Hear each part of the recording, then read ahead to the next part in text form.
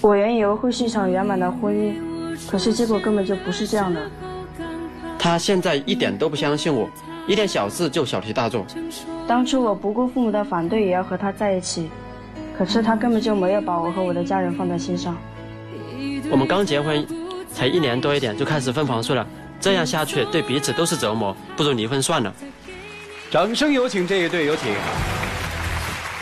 杨先生二十四岁，来自四川，服务员；吴女士二十三岁，来自重庆，自由职业。来，有请两位，有请。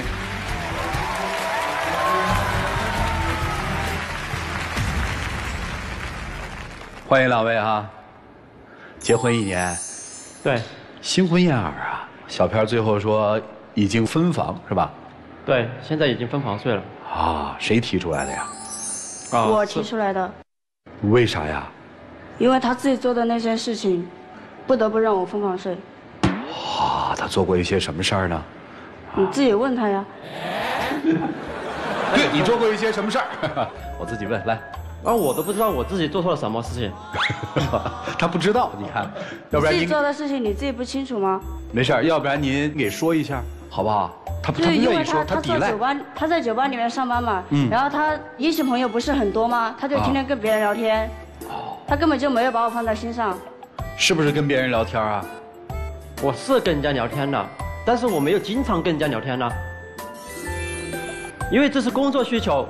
结婚之后压力都很大，都是靠我一个人来支持的，他们都是我的顾客。如果说我不跟他们聊的话，他们怎么会来酒吧消费？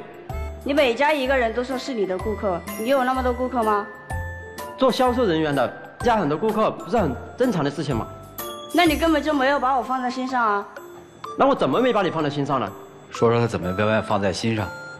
他每天除了上班都是出去混酒。出去混酒，这个混酒就是喝酒的意思是吗？对啊。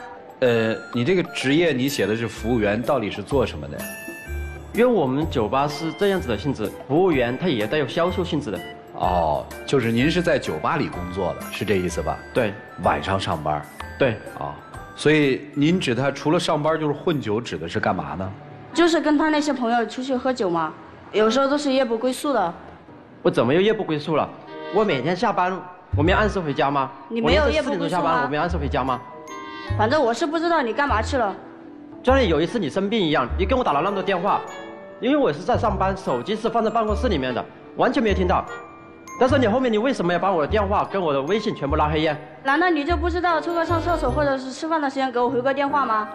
我都说了，我的手机是放在办公室里面的，而且那天又很忙，领导根本不会让你去看他手机看。你明明知道我生病了，你回来都不关心我一下，就知道对我大吼大叫的。你看嘛。总是为了这件小事，他就跟我莫名其妙的跟我吵，跟我闹。那还有一次，当我去洗澡去的时候，你拿我手机跟我朋友和同事他们发信息，你发完信息也就算了嘛，你为什么要把人家删除了呢？我不把他们删除了，难道你还要跟他们继续聊下去吗？我都说了，这些都是我酒吧里面的顾客，你把他们删了，以后他们怎么来找我消费呀？你手机上异性朋友那么多，每天上班的时候这里加一个异性朋友，然后那里加一个异性朋友，我就是要把他们删了。等于你把他的手机通讯录删了，是这意思？对。全删了。女的删了的，给他留了几个男的。哦，你看嘛，留了几个男的，他总是这样子，莫名其妙的。